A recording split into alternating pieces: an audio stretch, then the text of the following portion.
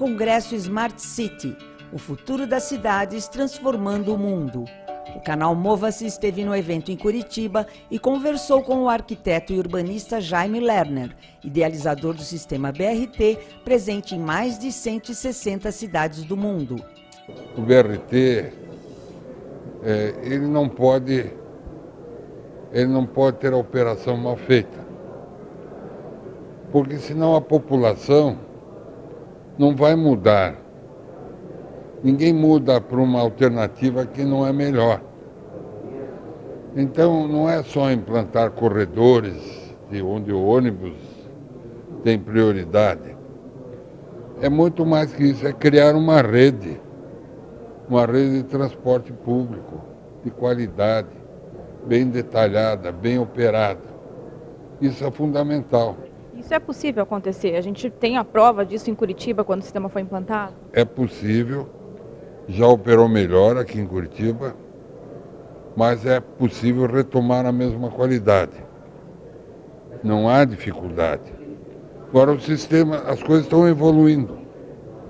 Nós estamos indo para sistemas híbridos, elétricos, supercapacitores, baterias. Tudo isso vai levar uma qualidade muito grande. Né? Outra coisa, sistemas mais sustentáveis. Outra coisa é a qualidade do veículo. Ele poder ser guiado é muito importante. Vai continuar sendo de pneus, pelo menos na nossa opinião. Mas o, o veículo ser guiado, ele dá uma qualidade muito grande. É, é um conforto. É. E à medida que ele for elétrico, né, ele, ele vai é, dar a mesma condição de operação até melhor que o metrô. E a grande vantagem do BRT é poder ser implantado em menos de três anos.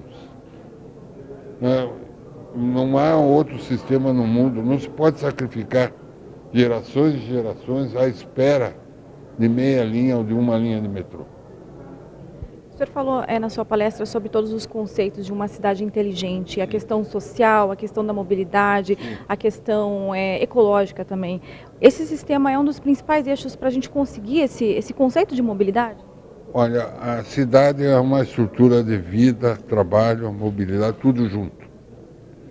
O transporte é uma parte, não pode ser pensado só no veículo. É, é uma visão integrada. Então, o que acontece aqui em Curitiba é que existe essa visão integrada.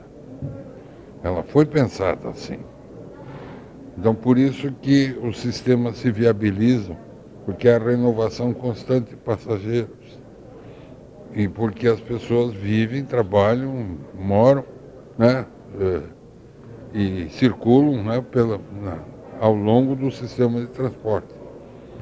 Então isso não é, não é difícil, mas é necessário essa visão integrada para que, se, para que a cidade tenha uma mobilidade melhor, tenha uma sustentabilidade melhor e seja e tenha sociodiversidade, convivência, tolerância, coexistência, tudo isso é fundamental. Quais são as premissas do sistema eficiente de BRT? Primeiro, operar em rede. Não pode ser só uma operação de corredor, não pode ser uma faixa pintada. É, tudo isso são conquistas. A faixa pintada dá uma prioridade para o transporte público, mas não é a solução em si.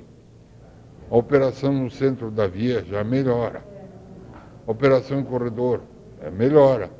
Mas o que é necessário é rede a rede que possibilita ampliar ao máximo o número de alternativas de transporte para a população. Não é com uma linha ou duas linhas que se resolve o problema, é com uma rede completa. Por isso, nós temos aqui uma rede completa que transporta 2 milhões e 600 mil passageiros por dia.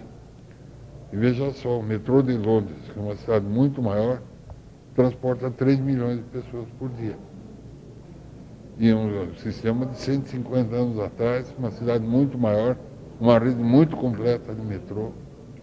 Então, a gente, nós temos hoje em dia no Brasil um know-how, tecnologia suficiente para dar uma grande resposta em relação ao problema da mobilidade. Agora, isso precisa ser usado. Existe tecnologia, existem as empresas que operem, que operam, existem hoje um know-how de bons operadores, existe financiamento, existe tudo. Nunca estivemos tão perto e nunca estivemos tão longe. Tão longe por causa da burocracia, que é, às vezes, para fazer uma linha leva-se 3, 4, 5 anos. Isso é um absurdo. Isso não, não, não poderia acontecer num país como o nosso. Inscreva-se no Mova-se. Participe. Se quiser colaborar, envie fotos e vídeos sobre mobilidade urbana da sua cidade para o nosso WhatsApp